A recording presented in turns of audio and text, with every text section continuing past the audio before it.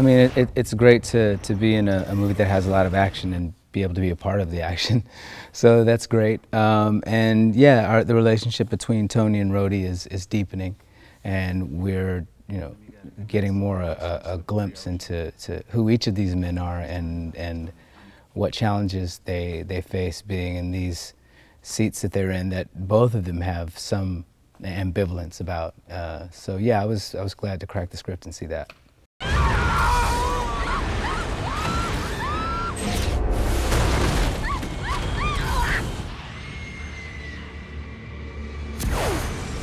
Many in the air? Thirteen, sir. How many can I carry? Four, sir.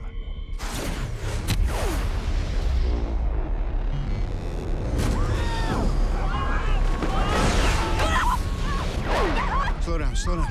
Relax. What's your name? Heather? To me, it's the perfect balance of not too far and not, not far enough. Um, and again, a lot of this happens just by kind of like dialing in the servos as you get closer and closer to shooting and all of the great department heads we have and everybody has a take on what should we do next. Um, i remember in the extremis uh, series at a certain point tony internalizes extremis and i was like dude that's where this has got to go. And it's not impossible that it could but the other thing you always have to think is how far is too far? At what point have you taken all your toys out and you've essentially burned out any possibility of ever having another one. At the same time, how do you want to make each one feel like it's definitive and you're not, uh, you're not keeping your best cards, you know, um, on the table? I love, you know, I love watching Gwyneth and Robert, and so much of my job on, on the first films was to create a, a sandbox for them to play in, to figure out what the, the dynamics of that relationship is, to capture what how well they work together as actors and incorporate that into the characters and adjust what was in the books to them. The evolution of Pepper has been like a pretty big evolution and she started very firmly in one situation and now she's, you know, living with Tony. They're really on equal ground. She's asking for her needs to be met as well and we see her as the CEO of Stark and and then she gets action. I mean, it's really good. JARVIS, where's my flight power? Working on it, sir. This is a prototype.